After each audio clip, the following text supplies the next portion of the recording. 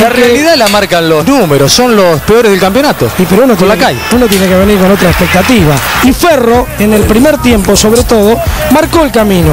Cuando Matías García se hizo dueño de la pelota jugando a espaldas de los dos mediocampistas centrales, me estoy refiriendo a Leiva y Medina, y ahí comenzó Ferro con algunas oportunidades que desperdició, por ejemplo, Altamirano en un par de ellas, como en esta, tratando de darle con su pierna izquierda.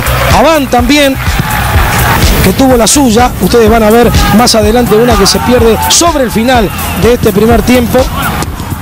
Un- una jugada que entraba solito sobre el lado derecho. En esta es la única oportunidad clara que tuvo Defensa y Justicia en el primer tiempo. Un remate de media distancia de Leiva.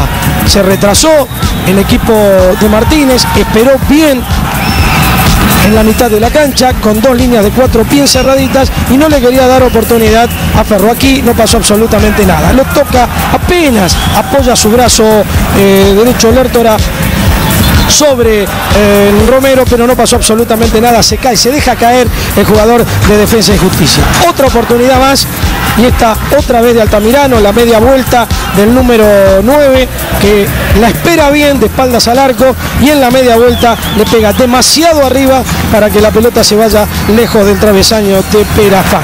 Altamirano que fue importante pensando la jugada, pero no en la definición.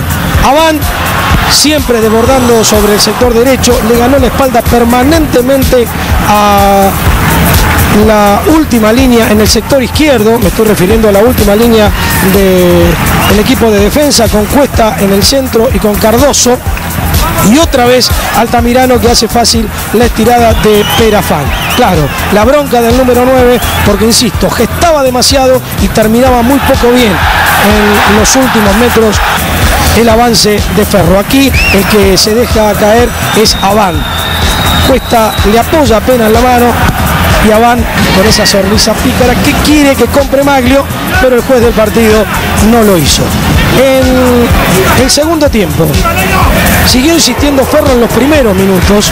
Aquí hay una apilada de García, su mejor hombre, claro que después tuvo que salir lesionado, cambio que en un primer momento no entendía la gente de Ferro, pero lo explicó muy bien el técnico de, eh, Ferro, Bianco, que estaba lesionado, por eso lo sacó, y el remate de Fernández que se pierde por sobre el travesaño. A partir de los 15 ve- minutos del segundo tiempo, Defensa y Justicia hizo mejor pie en la mitad de la cancha, tomó contacto con la pelota este señor Romero, también Diego García, Leiva y Medina fueron otros y se fue acercando el equipo que comanda tácticamente Martínez más hacia la valla de Ferro. Aunque tuvo un par de oportunidades más el equipo de Bianco y otra vez por Altamirano. En esta, ustedes fíjense que le gana bien a la posición adelantada.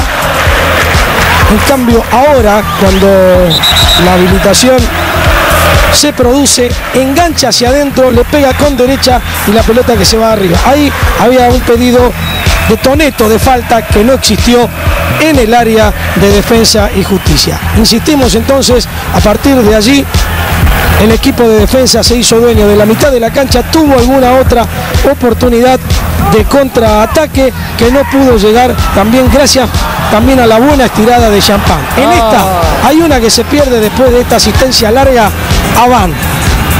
Lo toman, es cierto, pero puede seguir con la pelota. No hay falta. Maglio deja seguir con eh, acierto. Y pensando más en la falta que en la definición, mete la pelota por arriba del travesaño y se pierde una de las grandes oportunidades que tuvo Ferro. Que insistimos, en largos pasajes del partido estuvo mucho más cerca que Defensa y Justicia, pero que le faltó la claridad necesaria en los últimos metros para poder definir. Aquí hay una contra y una buena habilitación para Piri Salves. Aquí está adelantado el número 9. Después de la devolución de Romero, ustedes se van a dar cuenta que aquí gana en la posición Piri Salves. Ya está adelantado, después se hace de la pelota, define, pero ya está anulada la jugada en otra aproximación del equipo de Martínez hacia el área de Ferro. Allí está García. Diego García en otro desborde. Thiago susto. Intentando, intentando sacar la pelota, casi la clava en el ángulo de la mano izquierda. Ahí sí, tenía razón el hombre de la Popu de, de Ferro. Fue un poquito más en los últimos minutos defensa, con más convicción. Y en esta jugada también de Mauro Milano que había ingresado en el segundo tiempo, se pierde una buena oportunidad en lo que podía haber sido el gol de defensa. Que a esta altura y con lo demostrado por uno y otro, ante la falta de convicción para definir, la falta de precisión para definir de ambos, el empate está bien. 0 a 0, no podía ser de otra manera entre Ferro y Defensa y Justicia. Para.